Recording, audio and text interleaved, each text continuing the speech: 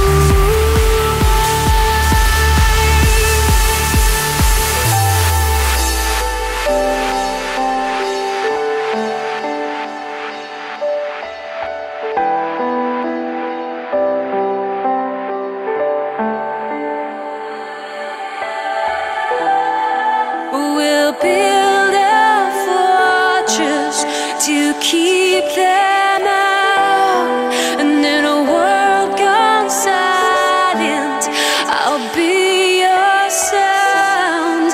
And if they try to hurt you, I'll tear them down.